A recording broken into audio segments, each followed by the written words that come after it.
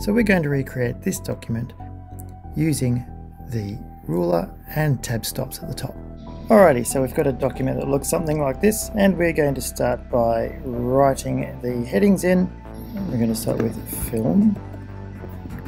Before we even put in director and release date, what we want to do is we want to put in some centered tab stops. So go up to our ruler at the top here.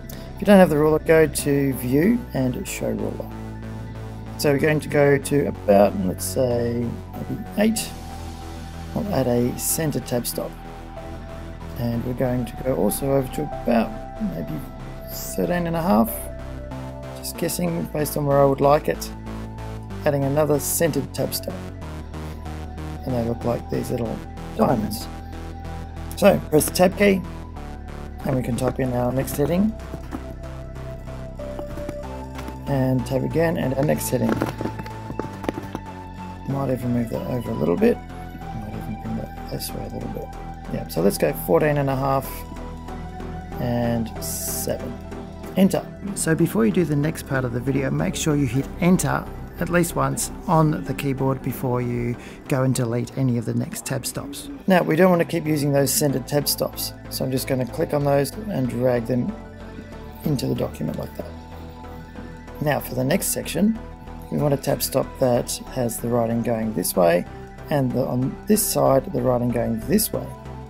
We want a tab stop at around about maybe five and a half and that's going to be a left tab stop. And the next one over here we want to be a right tab stop so we're going to put that at about 16 and a half. Right tab stop. Now notice if I click back on this line it goes back to those centered tab stops I go back to the new line, we'll go down a line, we'll type in our first film, press the tab key, tab key and it goes all the way over this way and watch what the writing does, it comes backwards. I don't really like the spacing of that so I'm going to change things around a bit. So I'm going to go back to this heading here, this line here, and I'm going to move my centered tab stop over to about 8.5 now. And maybe put that release date one a little bit further over as well and the next line I'm going to move that one to about maybe six and a half maybe even seven. So if I hit enter that is now going to duplicate that tab onto the next line of text. And then I just fill it all in using the tab key to jump between the columns. So hit the tab key on the keyboard takes us to that next tab stop which is lined up there. And because this is a left tab stop the writing goes from left to right. And because this one is a right tab stop the writing goes from right to left.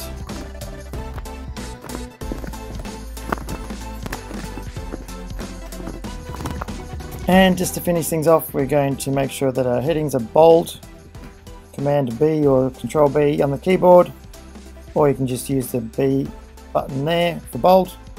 And let's make our writing just a little bit bigger for the heading. 12 fonts fine for that. That looks pretty good. Now I hope that made sense. If it didn't go back to the parts that didn't make sense and have a look again. Watch very carefully how I do it. Alright hope that was great. Thanks for watching. Bye